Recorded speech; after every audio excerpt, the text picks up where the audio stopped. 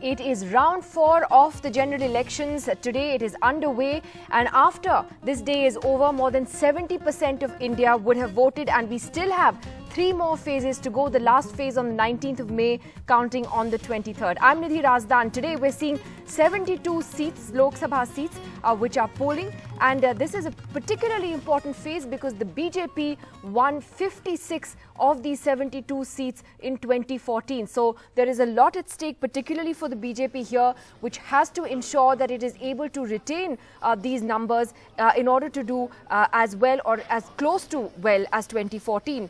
Uh, Mumbai is voting today. That is the big story. The polling also begins in Rajasthan and Madhya Pradesh, uh, and it ends uh, in Maharashtra today uh, after round, uh, several rounds, uh, also in Orissa. So these are live pictures that we are getting now from the city of Mumbai, a city famous for its, or infamous rather, for its voter apathy. And here is hoping that today at least the citizens of India's financial capital come out and cast their vote. Lots of key battles today. Uh, 13 of the 25 seats in Rajasthan are voting today, 6 of the 29 in Madhya Pradesh. Uh, in UP, uh, which has 80 seats in all, the largest state, 13 more seats are polling today, uh, including Kannauj, from where Dimple Yadav, wife of Akhilesh Yadav, is contesting from. In fact, my colleague Alok Pandey uh, is joining us from Kannauj uh, this morning. And from Jodhpur, we have a very interesting contest. Uh, Ashok Gehlot's uh, son, the Chief Minister's son, uh, is contesting from there. So Harsha Kumari Singh is there uh, this morning. So Alok, to you first, Kannauj, an interesting battle. I guess a very confident Dimple Yadav this morning.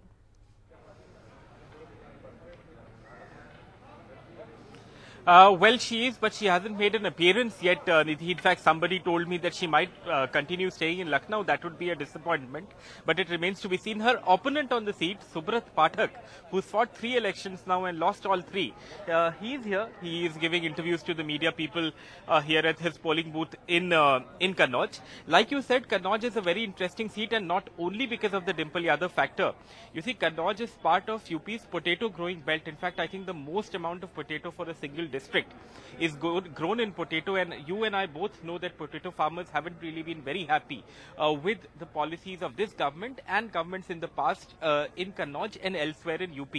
Will that be a factor in the polls or will it turn out to be the star contest where Dimple Yadav is the biggest factor remains to be seen. This is a seat that has been held by the Yadav family for a while and in fact it's one of those strongholds of the Yadav family. Also interesting that Mulayam Singh Yadav, Sheila Dikshit was once an MP from here. Mulayam Singh Yadav was an MP, Akhilesh Yadav was uh, an MP from here. All three of them went on to become chief ministers of uh, their respective states, of course. So that's also an interesting factor here. The other factor also is the kind of domination that at least in statistics you have from the Gathbandhan. You have a significant Muslim population here, you have a significant Yadav population here, and you also have a significant population of OBCs and Dalits here. And that's why the SP, BSP have been saying that they are the ones on a stronger wicket. However, unlike the last time in 2014 and in 2012 when Dimple Yadav did not campaign too much, this time there has been a large campaign from the Gathbandhan. Akhilesh Yadav has held road shows multiple times here along with Dimple Yadav. In fact, there was also a ma major Mahagathbandhan rally where Mayawati was also present and Dimple Yadav in fact touched the feet of Mayawati and that was seen to be political symbolism. Mr. Narendra Modi has also come here to address and rally in the last few days. Subrat Pathak, the BJP candidate, just told us that he is also very confident that it is Mr. Modi and his name that will pull him through in this election. Whether that happens or not, of course, remains to be seen.